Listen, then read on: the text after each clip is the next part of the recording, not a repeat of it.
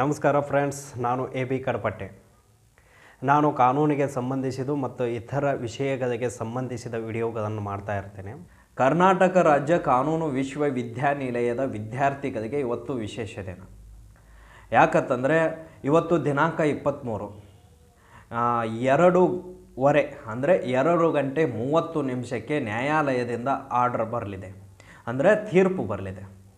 ಯಾವ ರೀತಿ ಬರ್ತದೆ ಅಂತೇಳಿ ವಿದ್ಯಾರ್ಥಿಗಳು ಕಾತುರದಿಂದ ಕಾದು ಕೂತಿದ್ದಾರೆ ಯಾಕಂತಂದರೆ ಹಲವಾರು ದಿನಗಳಿಂದ ವಿದ್ಯಾರ್ಥಿಗಳು ಪ್ರತಿಭಟನೆಯನ್ನು ಮಾಡಿದರು, ಉಪವಾಸ, ಸತ್ಯಾಗ್ರಹವನ್ನು ಮಾಡಿದರು. ಅದೇ ರೀತಿಯಾಗಿ ಹಲವು ಅಧಿಕಾರಿಗಳಿಗೆ, ಹಲವು ರಾಜಕಾರಣಿಗಳಿಗೆ ಮನವಿಯನ್ನು ಸಲ್ಲಿಸಿದರು.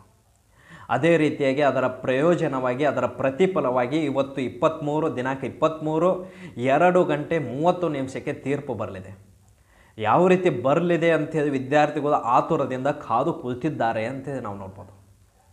ಯಾಕಂತಂದರೆ ಈ ವಿದ್ಯಾರ್ಥಿಗಳ ಪಟ್ಟ ಪರಿಶ್ರಮಕ್ಕೋಸ್ಕರ ಇವತ್ತು ನ್ಯಾಯ ದೊರಕ್ತಾ ಇದೆ.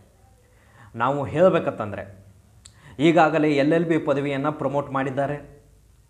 ಅಂದರೆ ಎಲ್ ಎಲ್ ಬಿ ಮೂರು ವರ್ಷದ ಪದವಿಯನ್ನು ಪ್ರಮೋಟ್ ಮಾಡಿದ್ದಾರೆ. ಅದೇ ರೀತಿಯಾಗಿ ಐದು ವರ್ಷದ ಎಲ್ ಎಲ್ ಬಿ ಪದವಿಯನ್ನು ಪ್ರಮೋಟ್ ಮಾಡ್ತಾರೆ ಅಂತ ಅನಿಸ್ತದೆ. ಯಾಕಂದರೆ ಸಂವಿಧಾನದಲ್ಲಿ ಹ, ಅನುಚ್ಛೇದ ಹದಿನಾಲ್ಕರ ಪ್ರಕಾರ ಎಲ್ಲರಿಗೂ ಸಮಾನ ಅವಕಾಶ ಇರ್ತದೆ, ಸಮಾನತೆ ಇರ್ತದೆ. ಅದೇ ರೀತಿಯಾಗಿ ಕಾನೂನು ವಿದ್ಯಾರ್ಥಿಗಳಲ್ಲಿ ಐದು ವರ್ಷದ ವಿದ್ಯಾರ್ಥಿಗಳಿಗೆ ಒಂಥರ ಅದೇ ರೀತಿಯಾಗಿ ಮೂರು ವರ್ಷದ ಒಂದು ರೀತಿ ಮಾಡಲು ಬರೋದಿಲ್ಲ. ಎಲ್ಲರಿಗೂ ಸಮಾನ ಅವಕಾಶವನ್ನು ಮಾಡಬೇಕಾಗ್ತದೆ, ಸಮಾನ ರೀತಿಯ ಸಮಾನ ರೀತಿಯಾಗಿ ನೋಡಬೇಕಾಗ್ತದೆ.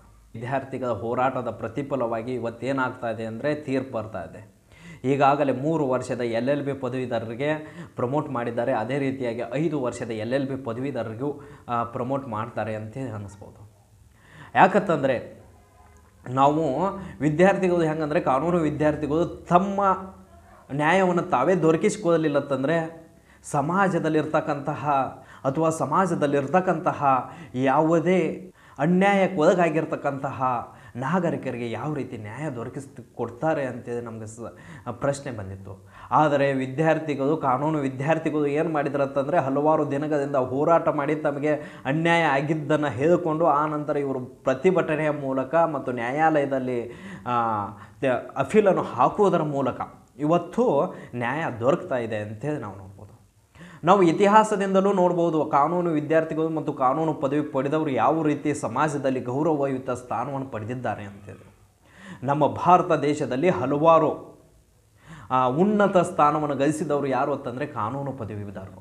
ಅದೇ ರೀತಿಯಾಗಿ ನಮ್ಮ ವಿದ್ಯಾರ್ಥಿಗಳು, ಕಾನೂನು ವಿದ್ಯಾರ್ಥಿಗಳು ಹೇಗತ್ತಂದರೆ, ಈಗ ತಮ್ಮ ನ್ಯಾಯವನ್ನು ಹೋರಾಟ ಮಾಡಿ ಪಡೆದಿದ್ದಾರೆ ಅಂತಂದರೆ, ಇದಕ್ಕೆ ನಾವು ಮೆಚ್ಚಬೇಕು. ಯಾಕಂದರೆ, ಇನ್ನು ಸಮಾಜದಲ್ಲಿ ಹಲವಾರು ರೀತಿಯ ಅನ್ಯಾಯಗಳಿಗೆ ಹೋರಾಟ ಮಾಡ್ತಾರೆ ಅಂತೇಳಿ ವಿದ್ಯಾರ್ಥಿಗಳು ತೋರಿಸಿಕೊಟ್ರು ಅಂಥೇಳಿ ನಾವು ನೋಡ್ಬೋದು. ಅದೇ ರೀತಿಯಾಗಿ ಇವತ್ತು ಎರಡು ಮೂವತ್ತಕ್ಕೆ ತೀರ್ಪು ಬರಲಿದೆ. ಆದ ಕಾರಣ ಎಲ್ಲರೂ ವಿದ್ಯಾರ್ಥಿಗಳು ಶಾಂತತೆಯಿಂದ, ಕಾತುರತೆಯಿಂದ ಕಾದು ಕುಳಿತಿದ್ದಾರೆ. ನಾನು ನನ್ನ ಅನಿಸಿಕೆ ಪ್ರಕಾರ ಇವತ್ತು ಐದು ವರ್ಷದ ವಿದ್ಯಾರ್ಥಿಗಳಿಗೂ ಕೂಡ ಪ್ರಮೋಟ್ ಮಾಡ್ತಾರೆ ಅಂತೇಳಿ ನಾವು ನೋಡ್ಬೋದು. ಇದೇ ರೀತಿಯಾಗಿ ನಾನು ಕಾನೂನಿಗೆ ಸಂಬಂಧಿಸಿದ ವಿಡಿಯೋಗಳನ್ನು ಮಾಡ್ತಾ ಇರ್ತೇನೆ. ಆದ ಕಾರಣ ಎಲ್ಲರೂ ನನ್ನ ಚಾನಲ್ಗೆ ಸಬ್ಸ್ಕ್ರೈಬ್ ಆಗಿ, ಹಾಗೂ ಯಾರಿಗೆ ಅವಶ್ಯಕತೆ ಇದೆಯೋ ಅವರಿಗೆ ಶೇರ್ ಮಾಡಿ, ಹಾಗೂ ಲೈಕ್ ಮಾಡಿ. ಧನ್ಯವಾದಗಳು